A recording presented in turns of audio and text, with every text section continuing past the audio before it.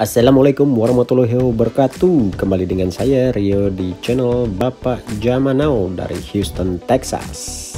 Hari ini adalah hari kami waktu masih di Jakarta.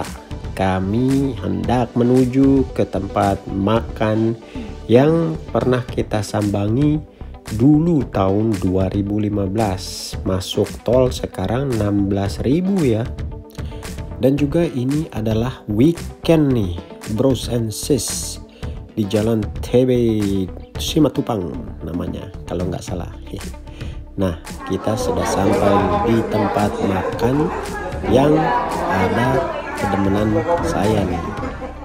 Gurame terbang ya. Walau ini ini udah lama banget nih kalau makan ikan gurame enaknya pakai sambal. Aduh, mantep bener ala-ala riung Sunda nih. Tuh, lihat centong nasinya aja beda pakai sirsak. Terusnya makan rame-rame sama keluarga. Beh, nggak ada yang ngelahin. Ini adalah makan pertama bareng-bareng kita sekeluarga. Asik bener sambil ngobrol dan bercerita tentang ke kegiatan kita waktu ada di Amerika. Ini kesukaan si Bucil. Kerupuk putih, makannya harus pakai kerupuk. Tuh, kita sampai habis makan ngobrol nggak berasa piringnya sudah tandas ludes licin. Ini memang salah satu tempat favorit kita di terakhir tahun 2015 lihat nih teman-teman ini 2015 sekarang 2022 makin komplit. Walaupun masih ada yang belum bisa hadir Alhamdulillah. Kembali kita pulang mau cari dessert. Waduh memang kangennya Jakarta yang nggak bikin kangen cuman macetnya bros and sis luar biasa. Padahal weekend ya. Mungkin juga karena weekend orang-orang pingin melepas lelah dan stres. Mereka mencari hiburan setelah bekerja selama dari Senin sampai Jumat.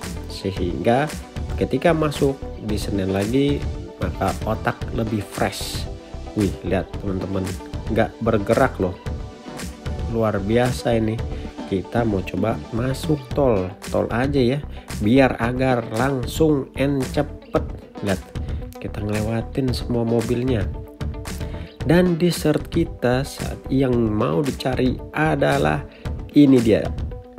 Coba dilihat duren ya bukan duda keren tapi durian buah. Mantap punya nih.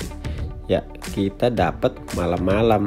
Main go naik motor. Wah sebenarnya seru juga tuh kita videoan kalau pada saat naik motor tadi. Tapi ya ini kita ada beli berapa bungkus kita bagi-bagi makan sambil kembali melanjutkan cerita.